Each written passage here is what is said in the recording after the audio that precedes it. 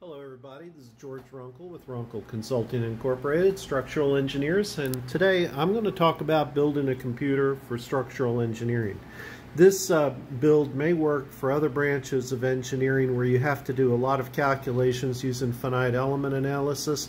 I don't know if it'll work well for civil engineering where you're doing uh, point clouds from surveys and uh, doing terrain topographic stuff but it probably will work out really well for mechanical engineering where you're doing a lot of heavy duty calculations. So let's go ahead and go. First we're going to talk about um, what I'm doing mostly is finite element analysis and some pretty complex structures made out of shipping containers. And I'm using Bentley RAM elements because it allowed me to build the members, the custom members that are in the shipping containers and then run the analysis of the overall structure.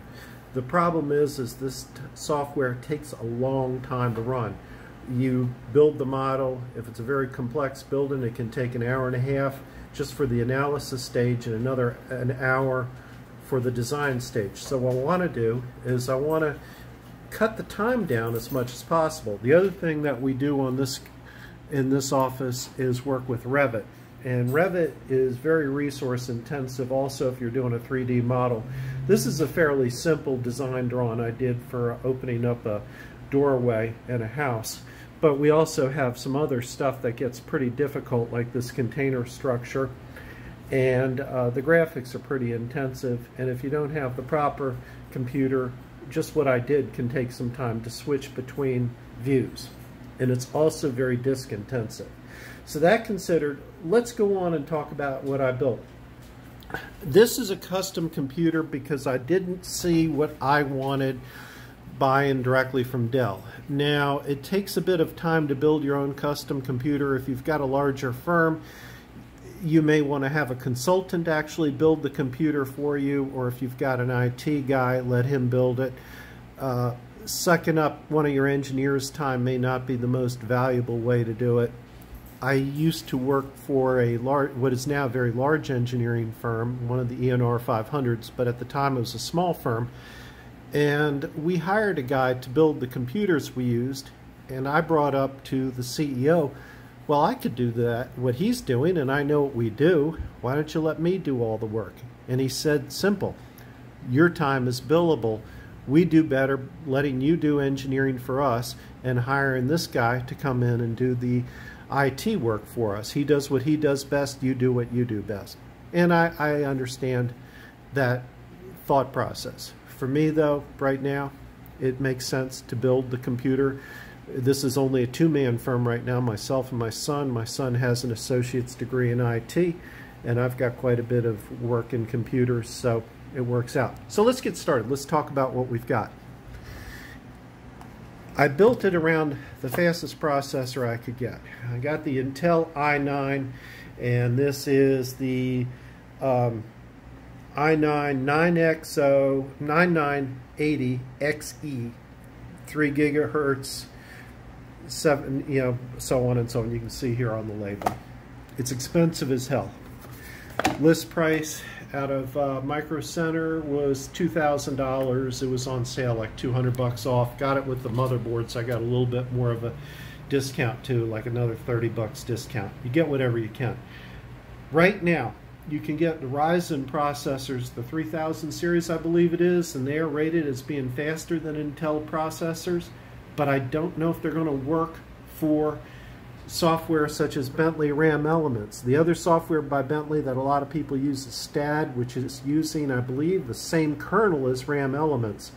Both of these software go right into the language for Intel. I have had computers with AMD processors where I've tried to use multi-core processing for the analysis and the program wouldn't do it because it would only work with Intel. So I suspect you have to use an Intel processor. I didn't want to take a chance and spending money for an AMD processor and finding out it didn't give me any advantage. I went with the Intel. Again, if you have a big firm, you might want to build two different computers, one with the AMD Ryzen processor, one with the Intel run the same structural model on the two computers. The analysis phase, at least with Bentley, tells you how long it takes to run it, see which one runs faster, and then go with that. but I didn't have the kind of time or money to do that experiment. So anyway, let's talk further about the build. This is under here, and I swear, as expensive as this is, when I picked it up, I felt like I was picking up plutonium. I felt like I was loading a nuclear reactor with hot uranium. I was nervous because I, you know, I have already screwed up a motherboard by not putting in the processor right. I didn't want to break anything. But anyway, got that done. So I have that. I have fully loaded the motherboard with memory. This has got 128 gigabytes of memory. Seriously, you can't have too much memory when you're doing this type of applications because if you're running, if you're anything like me, you're going to run a number of applications at the same time. You don't want to slow your machine down. Also, with Revit, having a lot of memory speeds it up because it doesn't have to keep reading from the disk.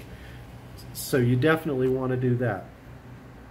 Next thing, I have as a graphics card, if you look at Autodesk's site, you look at what they recommend for Revit, and for AutoCAD, they recommend a Quadro Pro card.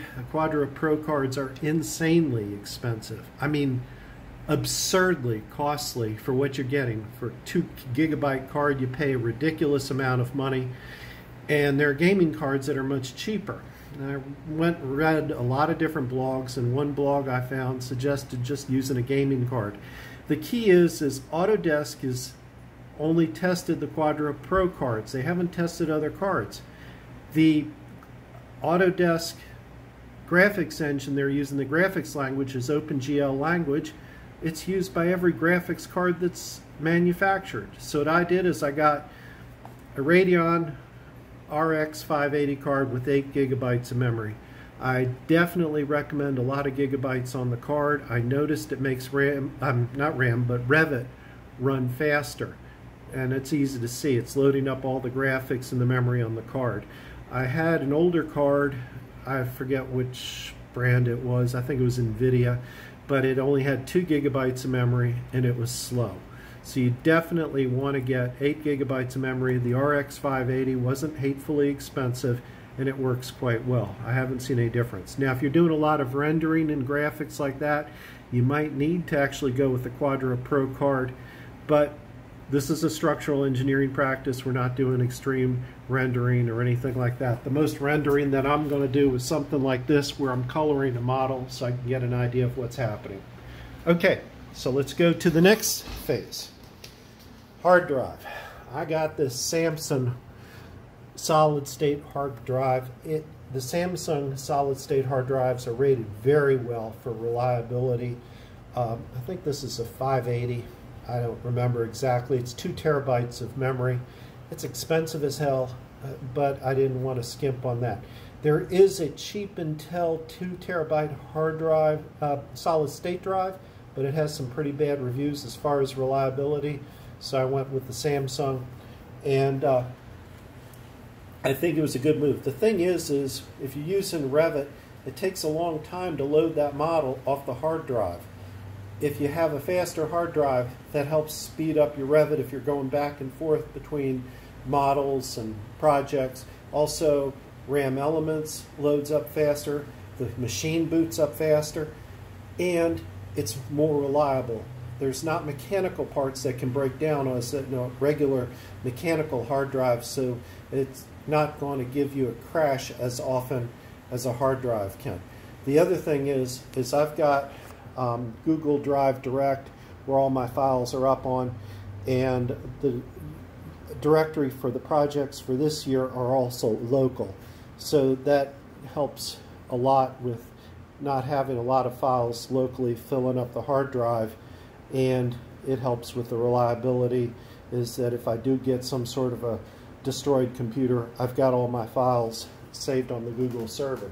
Bit of warning though, during the recession, when I was having a lot of trouble in this firm, I didn't make my payments to Google on time and they started deleting files. So, if you're going to go to Google to hold your documents in the cloud, don't forget to pay your bills on that.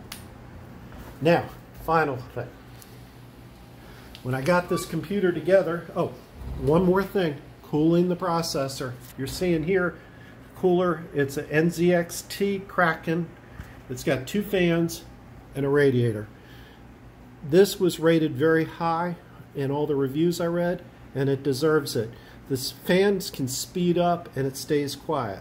It's done a very nice job of cooling the computer. I've also got two fans blowing air into the case, and the way I've worked it is the fans here are blowing the air from outside the inside the case out.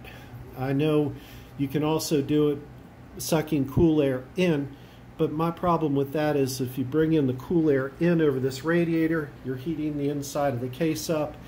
And my thoughts are if I blow air into the case, I'm keeping it cool enough here and the air going through the radiator is not that hot because I'm pulling in air pretty quick and it's much more efficient uh, given my knowledge of thermodynamics. And our final thing is we get into overclocking. It doesn't work if you're using RAM elements. I tried overclocking the computer and I kept having RAM elements come back not going through the model, giving me an error message, uh, you know, some sort of error message, unable to access and some hexadecimal address, and crash over and over again. So I had to go to an earlier model of RAM, earlier version of RAM elements. It worked a little bit better, but still it occasionally would crash with the vague error message, error reaching and some hexadecimal address. And it was just by accident I discovered that overclocking the processor screws up the operation of RAM elements on a complex model. And I suppose it'll do the same on STAAD. I had tried overclocking to 5 gigahertz. The machine was unstable, so I was throttling it down. I got to like 4.8 and the machine seemed to be doing good. I ran the RAM elements model. It crashed and then I, but the pro uh, the the machine didn't crash. The computer model, the RAM elements model, crashed, and gave me that same vague error message. So I started running the processor down lower and lower, and I found that I no longer had the model crashing. I didn't get the vague uh, error message, and so we are now running at 3.7 gigahertz, and it is slower, but it's more stable it's not generating the heat. I can open a number of programs without hurting the stability of the computer and generating so much heat. So it's a decent trade-off. I have an i7 computer I have in my home office and I found it was getting, giving me the same error messages being overclocked with RAM elements. I throttled it down to what the, uh, the stock speed was of the processor and it quit giving me the error messages, the vague error messages, and it went through the models. So that's just one of the things you're going to have to do. And I suspect that any other high-end finite element programs that are written to go directly into the processor to speed them up are going to give you the same problem. That pretty much concludes everything. You notice that I have a 43-inch monitor here. I really recommend that. It's really good for doing CAD. This is a 27 inch, which looks rather dinky next to the 43 inch. Ultimately, I think I'll probably have two 43 inch models here. And I have spent some money for a decent microphone so I can call people using the computer and Skype. And I have a decent uh, webcam, high definition, again for video conferencing works pretty well and I would spend the money for that. And definitely the microphone makes a big difference. I hate holding the phone up to my ear so sometimes I'll make phone calls on the computer using this microphone. It doesn't pick up echoing around the office. It has a nice sound to it so it works out really well. And I hope this video was helpful to you. If you have any questions put them in the comments below. I will try to answer them. And uh, you have a great day. Take care. Bye.